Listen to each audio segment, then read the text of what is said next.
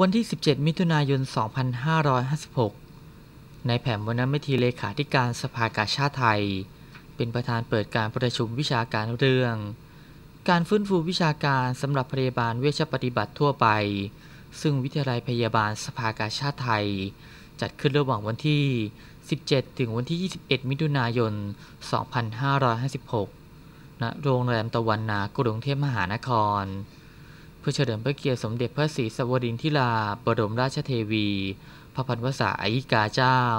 เนื่องในโอกาส 150 ปีวันพระราชสมภพ และพัฒนาศักยภาพบุคลากรสาขาพยาบาลศาสตร์ ให้มีความรู้ ความเข้าใจของพยาบาลเวชปฏิบัติ เกี่ยวกับการรักษาโรคเบื้องต้น และแลกเปลี่ยนประสบการณ์ ด้านการรักษา ระหว่างพยาบาลเวชปฏิบัติทั่วไป ให้สามารถบริการด้านสุขภาพแก่ประชาชนอย่างมีประสิทธิภาพ โดยรับความสนใจจากหน่วยงานทั้งภาครัฐและเอกชน บุคลากรสาธารณสุข รวมถึง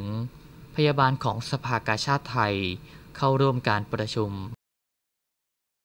สุรกิจพุนประดิษฐ์ถ่ายภาพประดิษฐ์พมรข่าว